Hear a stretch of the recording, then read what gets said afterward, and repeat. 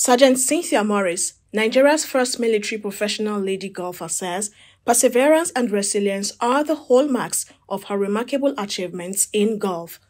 Maurice, who is with the Nigerian Air Force, made history by becoming the country's first professional female golfer in the military after a week-long professional examination from July 14th to July 20th at HSD Golf Club, Bayelsa. I, I turned pro in, in four years and it wasn't an, an easy um, journey. I remember um, when I first started, um, I didn't think it was something I would go on. Several times I've quitted and come back, you know. And um, my pro, my coach, uh, Emmanuel Odo, he's the assistant um, head pro of um, TYB International uh, Golf uh, Resort and Country Club. He has always been on my neck. Like each time I ran away, he had uh, he would always bring me back to the course. He made me see reasons why I had to continue.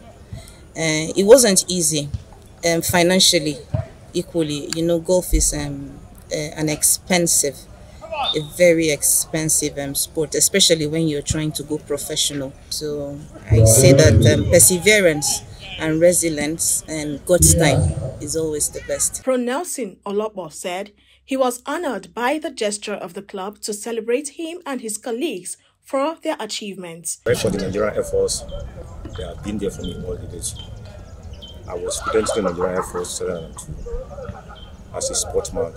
From there, then deployment to the Gulf Club. And now being a Gulf Club for almost 22 years in the service, uh, mostly 80% of my life is at the Gulf Club. And I kudos to them to their been there. Also, Pro Ogbonna Nweke thanked both the captain of GEJ and Shasha Golf Club, Lagos, who were instrumental to his success. I want to start by thanking the captain of GEJ Oi. and the Nadia captain today. of Shasha Golf Club Lagos. I'm honored to be here because it was a success. The Nigeria Air Force make it, made it happen. And I want to appreciate the Nigerian Air Force for giving me the time to achieve becoming a golf professional. It wasn't easy, but they made it easy for me. In his remarks, the Chief of Air Staff, represented by Air Vice Marshal Dalhat Ladan, the Chief of Air Intelligence, said the feat by the three pros was worthy of commendation, adding that he was proud that Nigerian Air Force now boasts of a female pro golfer. So I'm excited that uh, we have a female pro golfer in the Nigerian Air Force, and she happens to be the first, uh, which means she has she, has- she has shown that it is possible.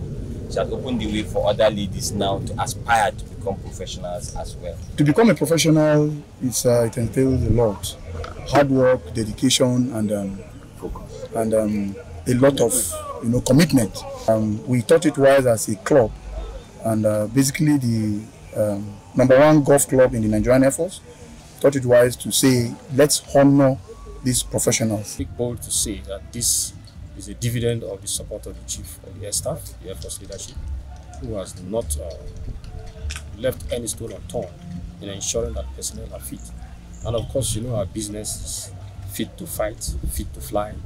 And uh, this is a very strong result for us to go on. And as you can see, it is a dividend rubbing off in the sports department also. And this very uh, strong and capable sports people coming up with this result goes along to tell you that uh, the effort of the chief of air staff is not being in vain. not because they want this particular persons to be selected, it is because um, they played well and they stood out in the competition.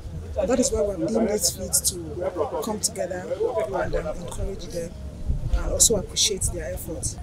We're here today to celebrate uh, honor the three pros that are among us. Fortunately, one of them is a female, whom when I started golf, I saw her playing and I saw the way she does on the course. And I said, if a woman can do this, I think I could do better. the two other male, uh, Nelson and Beckett. They are people known well.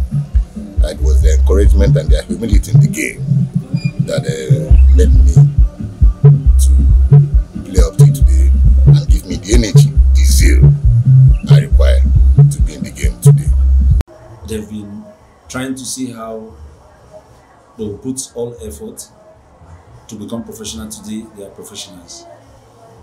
All I have for them as professionals today is to see them develop themselves one way or the other.